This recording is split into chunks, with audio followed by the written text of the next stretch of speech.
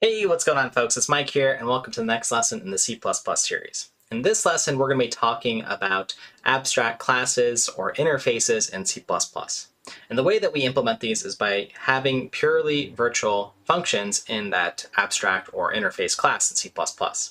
So if you're coming from a language like C Sharp or Java, you might be familiar with this idea of an interface. In C++, we don't have that built in as a keyword in any way. Instead, we implement these using purely virtual functions. So let me go ahead and demonstrate with an example how to do this so you can understand. All right, so what I'm going to do here is first give us a driving example. And you might have seen this if you've played games, for instance, where you can do things like choose you're drawing the graphics or with what API. Maybe you're using Vulkan, DirectX, OpenGL, or whatever. If you haven't heard those terms, don't worry about it. Let me illustrate. And the idea would be that you have some common way to render or draw your graphics. I'm just going to call this iRenderer. And the I here stands for your interface. And again, you'll see this interchangeably used with other terms such as abstract class and sometimes that's a keyword in different languages. But the idea is we're going to have a common functionality in this iRenderer class that every derived class must implement. So if I'm going to be driving a new class here for, say, OpenGL, or maybe some other way to draw things, such as using uh, Vulkan, or however many other classes that I have here that I'm going to be implementing will all have a common interface. And that way, when we use things like inheritance-based polymorphism, that is where I just create something that is a iRenderer, I can swap these out and have the functionality or the driver be OpenGL or Vulkan or whatever the technology or the algorithms that I want to choose. So let's go ahead and look at an example for this. So again, I'm going to start off this example by creating a new class here called iRenderer. And that's going to serve as my interface. Again, the I is just by convention. So let's go ahead and create some functions here. I'm going to create something like draw and maybe something like update for now, and that'll be enough here. Okay, so that's our interface class. So again, it works, it works fine, um, nothing that we have to do here. But again, the goal would be to use this as a sort of template for things that inherit from iRenderer so that they have draw and update functions. So let's go ahead and create this OpenGL class and it will publicly inherit from iRender. And we'll give it, you know, some public functions maybe later, and we'll go ahead and do the same thing with Vulkan. So again, let's go ahead and just see how this works here. So if I create some iRenderer, and I'll just call it my render equals new, and I'll decide to use OpenGL at runtime, and I can do my render uh, draw, my render uh, update. Okay, and I probably want to do them in this order if I'm being consistent. So let's go ahead and compile this, and it runs and works fine. And then again, the advantage of having these uh, two derived classes, OpenGL and Vulkan, be from a common interface is I could, of course, swap these out. And I could say, well, now I actually want to use Vulkan. So again, maybe the user makes that choice at runtime or when you start the program up or whatever. And they can rerun it and it works fine. Okay. Now, as we learned last time, though, there are some things that we might want to do. So for example, we might want to override the functionality of draw and update here. So what I could do is implement my own function here. Um, actually, I'll just write it as void draw, and I'm overriding the functionality of the class that I have here. So I'm just going to print this out and say OpenGL uh, draw here. Okay, just so we can see what's going on. And I'll do the same thing for Vulkan. Okay, and let's just make this consistent. So I have the draw here. All right, and let me make this a little bit bigger so you can see everything on the screen. We'll recompile. And, well, we've got a problem here, and this is what we learned last time and why I encourage the override. If I'm trying to override a function in my derived class, these functions have to be virtual. Okay, so that's a good thing. Uh, we're describing what we're overriding here. And I'll make this virtual here. And I'm going to make this one virtual as well. Now, what I want to do here is uh, first fix this little tiny uh, syntax error here with these parentheses. we can't have the uh, return type specified like that. There we are. And go ahead and give this a run here. So now we can see again that the appropriate function here for Vulkan is being called for my render. And again, just to swap this out one more time with OpenGL, uh, just to show that this uh, works here, it's working code, it this is called here. So again, that was the whole idea. Now, what's a little bit strange about this is that I could still instantiate things that are I renderers here. So for example, I could still print out, you know, I render here. And why is this strange? Well, if you've done any amount of graphics programming or have an idea of what OpenGL or Vulkan this are, these are actual APIs that do something. They actually drive graphics. Again, if you haven't done graphics programming, it doesn't matter because I just want iRender to serve as an interface. I don't want it to actually do something. So meaning um, I don't want to be able to, and what I'm going to go ahead and do here is just create an iRender, okay? Because in the context of this program, when I run it, and it just prints out, you know, iRender, draw, or whatever, it's not meaningful. I just want this to serve, again, as a interface or a sort of template for what must be implemented in OpenGL. So what I'm actually going to do is get rid of this code here.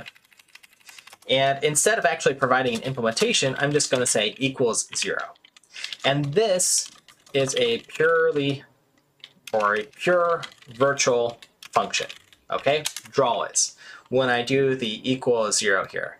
And what this states is that I must implement draw in any of the derived classes from this base class here or this interface I render.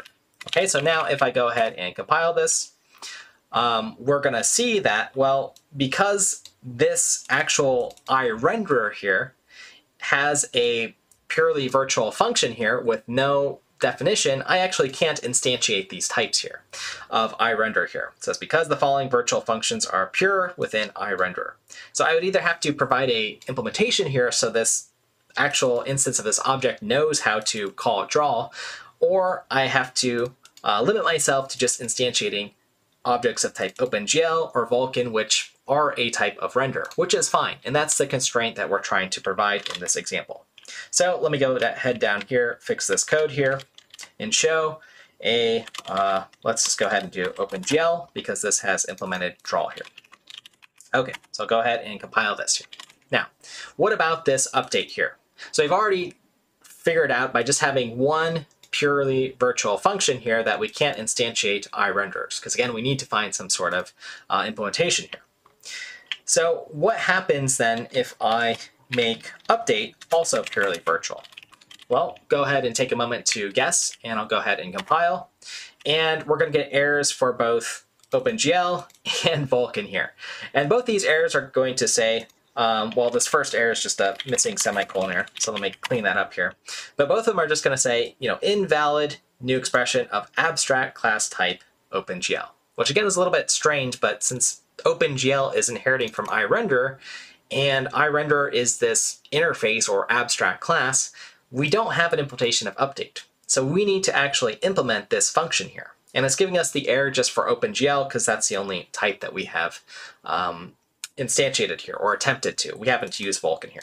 Okay, so let me actually now implement uh, the update function following the exact function signature here for our member function. And again, we are overriding the behavior. And again, I like to type override because then it sort of looks up to the base class that we're driving from to make sure that this in fact is a function that exists. Um, and if I do this, this is enough to satisfy the compiler okay? Because now we have update here. And again, if I go down here, let's go ahead down to Vulkan, we should find ourselves with the same error message here. Okay, so I would want to then be very consistent and also override this functionality here.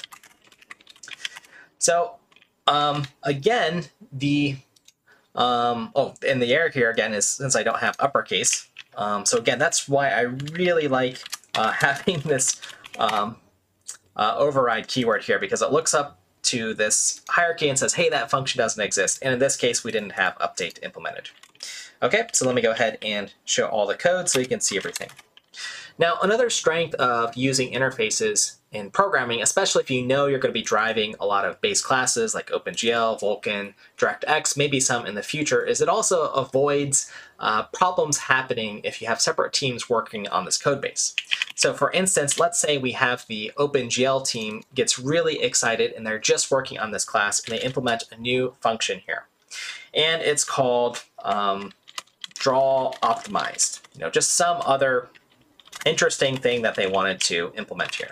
Okay, so they go ahead and have this function here. Um, now, if I go ahead and uh, compile this, and again, let me make sure I get it up and running. Again, no problems at this point here because I have my uh, Vulkan code here. But, you know, maybe the Vulkan team sort of gets word of this and they say, okay, yeah, we understand that there's some sort of draw optimize function but they say draw optimized and they name it VK or something like this. Okay, and then I'm going to come down in my uh, renderer here and do the uh, draw optimized uh, function here instead. And let's do VK, and I'll highlight out this draw, and I'll compile it, and well, immediately we can see that we're getting some error here. And it's also kind of showing or trying to simulate uh, what I'm doing in this example where different teams, which might not be communicating or looking at each other's code, are getting the same idea, but they're sort of differentiating these functions. And maybe these things take different parameters um, or are named slightly differently. So you have to go back to your interface here and have a common function here that is purely virtual and make sure that that is the one that is being implemented and overridden. Okay, so I'll go back in my code here. Um, actually, let me just run this again so you can see the error messages. Again, you'll see that they have this here, and the candidate that was found is draw optimized. Um, that should actually be implemented, and so on and so on. okay, so we can go ahead and quickly fix that here by getting rid of uh, this here, and then making sure that we call the right function. Okay, and again, it's not strictly necessary that we have override here, but I'm going to put it every single time just for uh, good code style uh, and in my OpenGL class as well. And we can see that this works nicely. All right, and then again, I can go ahead and change my mind later, use OpenGL or you know whatever later in the program, recompile, rerun, and the right tool is being used. Writing interfaces can be good for code and for sort of structuring things and making sure that derived classes have the consistent sort of API or use for anything that is that type. And in this lesson, I used an example of an iRenderer, which is a common example where you might have this sort of interface. It also can future-proof your code and make things a little bit more consistent in your code base when used appropriately and these coding conventions are enforced. So next time that you hear about abstract classes or this idea of an interface in C++, no, they don't natively exist in C++, but I've shown you how you can go ahead and create a sort of abstract class in your C++ code here. So if you found this lesson useful or have questions, make sure to engage by liking or subscribing, and we'll see you in the next one as we continue this series talking about C++, classes, and all sorts of fun things in the future. We'll see you next time, folks.